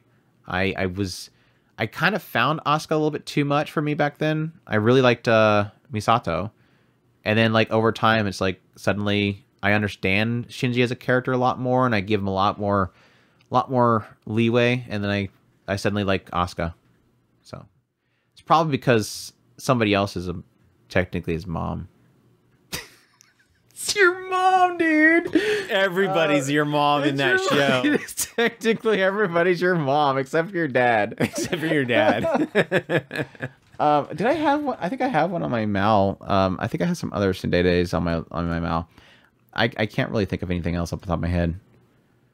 Um, dude, let's do a Google search for top Tsunderes. That's always a good way to do it. Um, who was a Tsundere character in Monogatari? Is there a Tsundere character? In, would, would, would that be uh, technically? would that be, uh, that would be the- no, the scissor girl, oh Senjougahara? Shinja Kahara. Yeah, Yeah, she's Oh, technically I guess, Tsundere. I guess. I she just was a tsundere that gave in really, really, really, really freaking easy. Oh, there you go. Rin Tohsaka. I don't know why it took me for I forgot Rin Tohsaka. She's definitely up there. Way up there. Number one? Yeah. I would I would probably say Rin Tohsaka. I mean Edis might take it over eventually, but yeah, Rin Tohsaka is definitely gonna be my number one right now. I really like her, so. She definitely they she definitely fits the bill. Let's see what Google says. I'm really curious what Google says. Every time I stu- every time I do a Google search for a different archetype, I I hate it. It always turns out to be bad. Uh, girl from Maitama, Gintama. Yeah, I could probably see me liking her character if I ever watch it. Uh, we got Asuka. Oh, Erza Scarlet. Erza? Nah, No. Nah. No, she's just very. She's a dork. She's not a tsundere. I don't think I've I would not her put her in it. I would not put her in. I mean, I guess I could see it a little bit, but I would not put her in the tsundere. She's just uh, she's meathead. She's total meathead. she is a meathead. Yeah. She doesn't realize what she's doing. She's a total meathead. Obviously, everybody wants to do this grueling thing. Apparently, uh, Okay, apparently there's a JoJo reference. apparently, apparently, Tsundere is a JoJo reference. Yes, he yeah, is absolutely a tsundere. Yeah, uh, Inuyasha. Uh, Wotakoi? I... No, Hirotaka. No, I don't remember. I don't think so. Chitoge? Question mark, Chris. Yes, absolutely. Okay. She is koi. full on tsundere. Oh, come on. Ishida from Bleach. Diana Fire. S- Saitama is a. What is this list? what is this list? I think we left the Tsundere list somewhere. No, it's st- it's still in it. Yeah, Taiga's in there, so obviously. Uh, yeah, technically, uh, Kyo Sohma from Fruits Basket. He's totally. Levi Ackerman, I guess. Yes, very violent Tsundere. Isla from Plastic Memories. What? I think she did like a pouty face one time. I don't know. She Irina from Food War, yes. She did a pouty face once. She's, yeah, she, she puffed her cheek up one time and it was like, bam, Tsundere, she's going on the list because I like plastic memories. greatest Tsundere ever because she puffed her. I, I, I swear these like main publications and stuff, whenever they do these like top lists for anime shows, is like they'll just try to figure out how many lists they can make of these certain shows because it's the only shows they ever watched. There's gotta be a, there's gotta be a Tsundere character in Plastic Memories. I'm running out of shows to put a list in. Anyways, yeah, that's that, that that's that's that. Tsunderes are great. I love Tsundere characters. We'll always love them. And it's when did I start liking Tsunderes? you were you were on the early Ben with I think it was Shana. I think it was Rie Kugimiya and Shana when I got in a I- big binge fest of of Rie Kugimiya's shows with like Shakugan no Shana, um, Familiar of Zero. What was the other one? The Combat Butler. She was the main girl in that one too, which was Tsundere. I wasn't big on Tsunderes until kind of more recently. I, I was more in the Dandere, um, Kudere area. I I still really really have a soft spot for those, but I I, I appreciate Tsunderes. I think that they I think are. I think the only Tsunderes I don't like is when they're way too hyper violent. I just I don't like it when it's their whole joke is punching the main character across the hallway every two seconds. Which is like Yeah, that was partly why I, think was that getting a little bit uneasy with this recent episode of Hundred Girlfriends, but it was it was literally because she was blindfolded and she freaked out. Okay, come on. yeah I, I there's there's something there's something about that i just love their in in a lot of cases they're kind of I, i've always been big on awkward vibes so when these They're characters super awkward. yeah and and they, They, are the they ones burst that are, out because they're awkward. They can't figure out the situation. and that I like and that. it- fr- I like that frazzleness. yeah like crap i don't know what to do so push away yeah i like it. it's cute i mean that's literally what she's doing in on her girlfriends is like she's crap what do i do push yeah i don't want to be part of this the other one's getting ahead of me gotta do something i gotta force myself to get involved and then get angry and then say i'm not doing it for you babaka it's cute it's cute uh yari says do did i did i mention godoku was the one that for last question sorry um yari says do waifus make anime great Yes. Uh, are they any? Are there any top-rated anime out there that you don't that don't have any at all? Um, when I think of greatest of all time anime, I immediately think of characters like Roxy, um, Mika, uh, oh Kurisu, uh, Hoshino Ai, etc. Therefore, better waifus equals better show. Okay Yes I'm, no. I'm, I'm, I'm gonna i'm gonna fix this problem right now Do it, Chris. um Don't be mean. what was the uh the the Don't yin be show um The Yin show. The Gin Show. The Gin Show. Um, Yin. the the the the spirit things that Yeah. dude dude was w- walking Mushishi? and he Mushishi. Yes. No waifus in that show. I mean, G- Gen's pretty hot, dude. He is pretty freaking Ginko, hot. He's pretty hot. He's he's freaking hot. Who's Gen? I, I, I I just got Gin. He's Uh, probably that was Gin. all I had. He he it's probably- it's it's prob- somebody probably called it's him Gin. silver. Either way, it's silver. Um, well, my 10 out of 10 shows that don't have waifus, there's technically a waifu in Showa Genroku Rakugo Shinju, but I wasn't really like that into her. I was into her character, not really as a waifu. Yeah. Bunny Drop, no waifu. Um, From the New World, didn't really have waifus for me personally. Um, Grave of the Fireflies, no waifus. Sorry. I'm sure somebody could find something, maybe a background character that was waifu, uh, that was running across the street or something like that. Made in Abyss, no waifus. I mean, Ozen's pretty cool. Is her name? What was her name? Was it Ozen? Yeah. A crazy psycho chick? No, she's not waifu. I'm just joking. Kiki's Delivery Service, no waifus. Um, I have a lot of shows that I don't find. Odd Taxi, no waifus. I mean, the dancing um, chick was pretty funny, but she's not waifu for me. Perfect Blue, no waifu. I mean, I do have plenty of shows that do have waifus in it. Don't get me wrong, but it's definitely not all of them. I, I think what it kind of goes down to again what we talked about here recently again with our um I don't know what we called that last podcast. This idea of the pillars and the idea that a, show has to have these pillars, and if you don't have at least like I think we came down to two of them, at least two of these pillars, it's not gonna it's not gonna stay upright. And that really comes down to like having a good story or good characters or a world building, something that keeps it alive. And yes, characters sometimes can be waifus. Now, I don't 10 out of 10 shows for me are not just because the girl hot. I've yet I don't none of my shows in my 10 out of 10 list is because hot waifu. Like I don't have Mushoku Tensei in my 10 out of 10 just because of Roxy. as much as I love her to death, she's in one and a half episodes. like I can't do a whole show as a 10 out of 10 because of Roxy's presence in a couple episodes. Actually, she had two and a half episodes or something like that. Um, but yeah, it's it's it helps because typically, at least for me, I mean, yes, there's a lot of cases where I like a show because it's got a cute waifu character in it, but the rest of the show's garbage. But I keep watching it because the waifu character. But I won't give it a 10 out of 10 just for that. So it has to have a lot of things, and I think where the 10 out of 10 shows is where they find that balance of not just letting the waifu be the sum of just being an archetype, but actually having a great story that sells you on more than just a character design or personality, but having a lot of depth to the characters that ends up making it a a goat, as you say. Yar- as Yari says, a goat. What's your thoughts? I don't know anymore.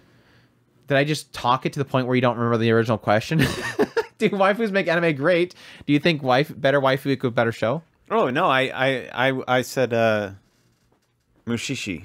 Um, Oh, you're giving an example of that. Mushishi is an example of a show that doesn't need waifus. yeah, I there, there there is plenty of shows that don't necessarily need it. Um, I I personally I love I love my waifus, so I go for it. Um, I personally love my waifus. I love my waifus. Some people around here. unlike some people, um, but no, I don't. You waifu haters. Yeah, you waifu haters, uh, i.e., uh, Girlfriend Next Door or Galaxy Next Door, and uh, you know all these shows that Andrew hates on because they have gr- waifus. Um, no, She's not a waifu. She's just a neighbor. I I don't, I don't care. shows shows are good. I I watch anime. Shows are good. Shows are good. I like anime. it's like this guy's like, "Hey, I got a question for you, uh, Otaku Spirit." yeah, go ahead, man. Uh, yes. Uh, so I was wondering about the deep integrals details of the uh, fathoming of the galaxy and the universe and how it affects the circul- circulation of the Earth and the spirits of each individual and how it interconnects between the deeper aspects good. of your souls and I'm waiting for you. To them. I know. Um, You're- so what do you what do you think, Chris? What do you think about this, Chris? shows are good. shows are good. I didn't think about that. Thank you, Chris. Thank you. I'm gonna go get a different job now because I realize how stupidly overcomplicated this massive research project I've been doing about the integral details of universe and the laws of physics. Because shows are great, and anime girls are cute. anime girls are cute. I like when she giggles. Have you watched Stardust Telepath yet, Chris? What? no, is it got a cute girl? It's super freaking cute. I think there's a story in there about this girl having struggles with, you know, communicating to other people, and she feels she's an outsider of the society and that she's an alien that needs to be taken off to space because she can only tell she can communicate through her mind to, to aliens because they talk in telepathy. But she's cute. okay, And the then show is fun. matters. I don't care. I just want cute girls. Just want cute girls. We're live on scene as Chris has been arrested for for we don't know. We're we're it's still being we're still trying to process, but he's being taken away in cuffs. Chris, Chris, what happened? What happened to you? the girls are cute. Anime waifus for life. Anime's great. I want to go to Japan. That's where the anime characters are at. what are we talking about? Also, Atari Yari also says, also, how much do you cook at home and how would you rate your culinary skills? I probably am. I'm no- very I, I am very, very low on the uh, Soma. You work at a place where they cook food for people and you're below average. They're not teaching you anything over there? There's no cute waifus. They're not cute waifus. The, the restaurant's not cute enough. I told them to turn it on the TVs at the bar, but they won't listen to me. No, they want to keep watching football. Why don't they watch like I don't know Eyeshield or something football show? There's no cute waifus. There's no cute wife. There's probably some side characters. You gotta have the flowers in the sports shows. Um, what was the question? Oh, I don't know. I'm average. I'm average culinary skills. Um, I I don't think I'm terrible, but at the same time, I'm not gonna be a chef anytime soon. I've been I've been getting better because I used to just throw together something blah and just be done with it. But um, I have somebody that I need to take care of on a daily basis to make sure he's fed. So yeah, what's what's this question? Let me see if this is an easy one. I guess Vione says, "Why do you think?" I like how this is wrote because it's got the caps letters. Why do you think some people hate spoilers? And I don't know why your mind immediately reads caps as like louder. Um, anyway, some people think hate spoilers, and some others enjoy or it's enhanced their experience of the show. Why do people hate spoilers? Because it ruins the suspense or what is around the corner that you should not know about. If you're walking down a hallway and you know that when you turn the corner there is a horrific beast, you're going to turn the corner knowing there's a horrific beast rather than turning the corner and going, crap, surprise, it's a, it's a horrific beast. Whereas I, I don't understand people that like spoilers because I don't. Um, but I, from what I gather from most people, I don't know that necessarily enhances their experience, but rather gives them a reason to want to continue. A lot of people will get spoilers just because they want to find out if there's anything good in the story they want to go after, they want to seek out. I think some people like to be part of the discussion, so they'll they'll accept the spoilers so they can jump into a conversation easier. Um, I've never heard of anybody explain as they actively seek out spoilers for every se- series they watch because it enhances their experience when they're watching it. I don't. I don't. I don't know that I would say that it enhances the experience. Okay, I'm fr- from a perspective of somebody who used to like spoilers. Now, so take this as a person who no longer likes uh, said spoilers. I He's been recovered. I am recovered. Okay. Um the best way I can explain it is going into usually digging I get interested in something I want to know something about said thing and so I go digging into that particular thing to understand it. Now, I could technically go through the entire process of the entire show or story or whatever have you and get to that point but usually somebody's already dug into it and the question that i'm interested in is in that said spoiler Yeah, that's like a case where you just don't want to do the journey. yeah i, mean, are want we- to know about this particular thing right here Yeah, like So- you don't. You don't feel like you. Like in, in particular it game of happens- thrones game of thrones is, is notorious for that I think it, it's it's a really significant thing in anime because like for the longest time, and it, it's still a present deal issue, obviously, um, is this idea that whenever you watch a show and you're like, oh, okay, I really like that show. Um, I hope he gets with said waifu, and you're like, but I know this show's never gonna get another season, and it's probably gonna have the manga that goes on for, you know, five, six seasons worth. So I know that I'm not gonna get another season. I don't want to read the manga. So what what am I gonna do? Find out who he gets with. yeah That's a I, I can see that being a thing. But again, that's you circumventing reading it because you don't want to the you don't want to read you don't want to do the journey. yeah and, and, I and can see that. it's it I mean like um um couple couple cuckoos. Cuckoos. Jump with that stupid talk conversation again. Couple cuckoos. Um I can see that being a case because I I'm bored of that show. I can easily see just out of random curiosity who's he get with. Because again, I don't care for the story, and I don't think I'm ever gonna read it, and I'm never gonna probably watch any more seasons well of it. i think that it it, it works better for um, massive storyline type story uh, shows Like Rent a Girlfriend, I'll probably just want to be curious who he gets with at the end, but I'm probably never gonna read it. We sure. already know who's going to end up with. Well, yeah, I we don't even want to think about Uh. But again, we got to Um, find out if he's not going to end up dead on a boat. yeah, and he gets and she gets and she gets with the author instead, That'll probably happen. I, I'm, or she I'm stays more, single more for life because she loses him because he doesn't want her to get with anybody. That way, the figures continue to sell. But no, the um, I, I think it works better on massive type stories, like for instance, like I said, Game of Thrones. Um, massive. Well, I remember we were doing that a lot with um, Bleach back in the day, um, digging into just intricate little uh, mechanics that are involved in that world. Eh, I'm I'm sure that there's probably fandoms that have dug into some of the other franchises like uh, Dragon Ball God knows, I doubt that there's that much depth in there, but I'm sure there is some. Um, but yeah, I, I know that uh, I'm pretty sure Hunter Hunter has a, a pretty massive fandom that is dug into all the intricacies of that one. So each one of those, the bigger franchises can handle that kind of stuff. So that that's where all of your spoilerish type junk is going to be. Now, how why have I quote unquote uh, recovered because at some point um, there was I was listening to a podcaster and they went off on a random tangent about such and such spoiler and totally dumped a what I thought was a pretty big bombshell on me.